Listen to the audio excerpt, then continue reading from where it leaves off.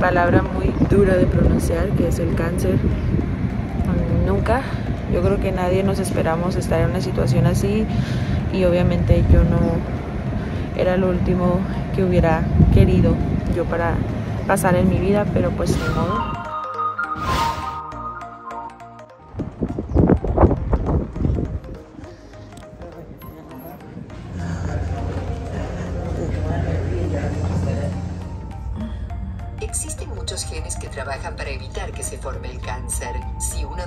Uno no funciona, puede aumentar el riesgo de desarrollar uno o más tipos de cáncer.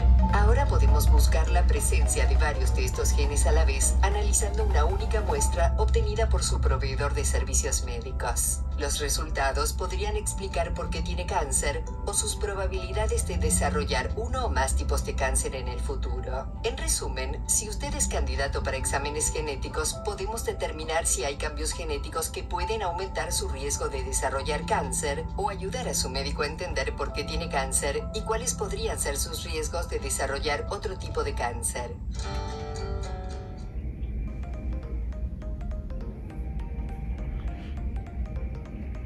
Sí. Bueno, prácticamente entré a este cuarto para hablar con una persona que me asesoró un poquito de lo que es el examen genético. Esto va a ayudar bastante a cómo es que mi doctor va a proceder con mi recuperación y sobre todo mi asesoría para ah, pues el futuro y sobre todo mis, familiares si resulta ser algo genético. Em, aquí ya terminé, como pueden ver es una oficina pues bastante cómoda, con privacidad para que te sientas obviamente cómoda y hablar con la persona con la cual ya terminé mi llamada. Ahorita pues ya voy directamente a, con la enfermera para que retire mi sangre valiosa. Estoy aquí lista para que me saquen mi, mi sangre valiosa y proceder con el examen de la prueba genética. Así que deseenme suerte.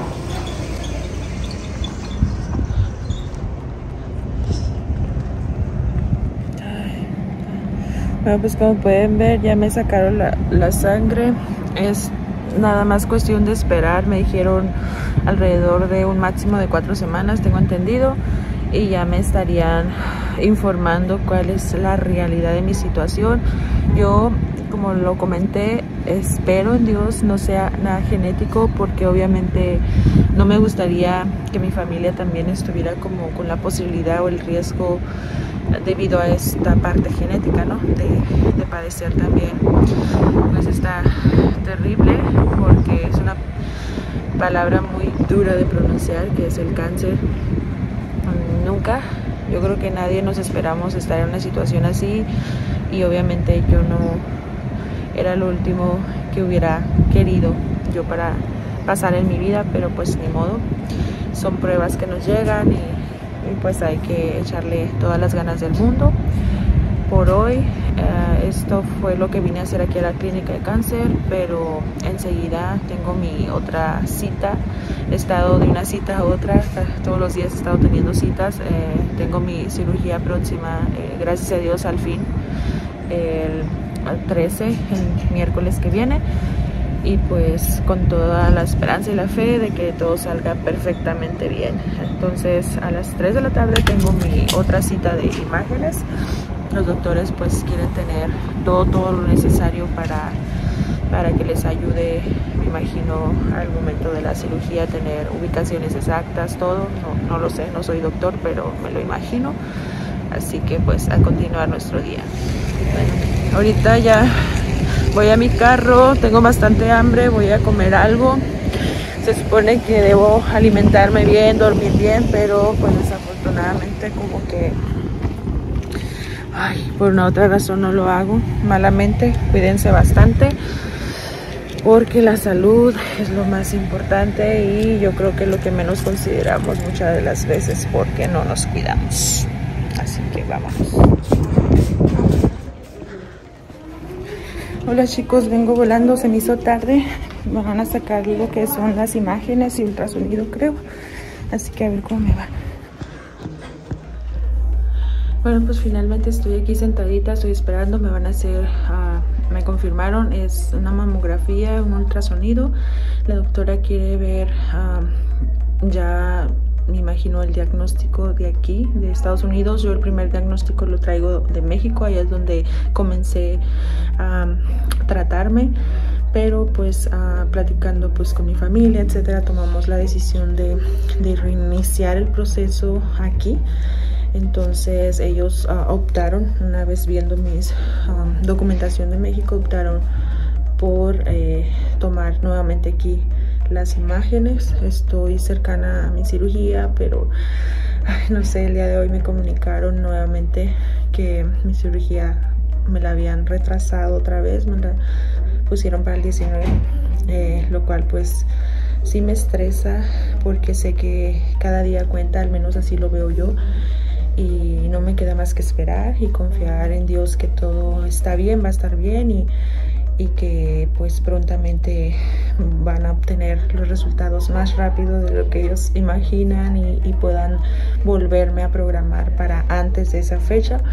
Es lo que lo que más deseo la verdad tener mi cirugía lo más pronto posible y comenzar pues con los tratamientos posteriores. Tengo mucha fe de que todo marche bien y le huyo bastante a pasar por la quimioterapia. No sé si esto va a suceder, hay un gran porcentaje de que así sea. Es una de mis preocupaciones, pero pues ni modo, si así lo decía el doctor y no hay otra opción, voy a tener que pasar por ello. Por lo pronto, pues ahorita les platico cómo me fue aquí en este, en este examen. Bueno, pues finalmente ya tuve mi examen o la mamografía. Eh, ya salí de ella, eh, sí fue como un poquito más incómodo que en México, pero pues ah, obviamente la maquinaria es mucho mejor y sí tomaron bastantes imágenes ah, a diferencia de México, lo repito. Entonces creo que están como un poco más preparados, especializados en el tema. Ahorita estoy esperando que me llamen por, por mi ultrasonido y sería todo por el día de hoy.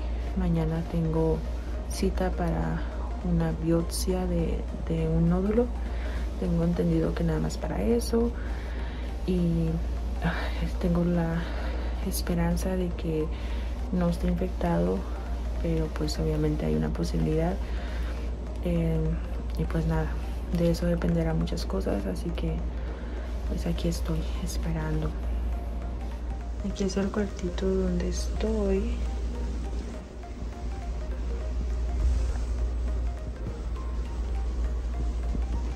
Es un cuarto pequeño, pero pues privado para darte tu espacio, prepararte y esperar el llamado.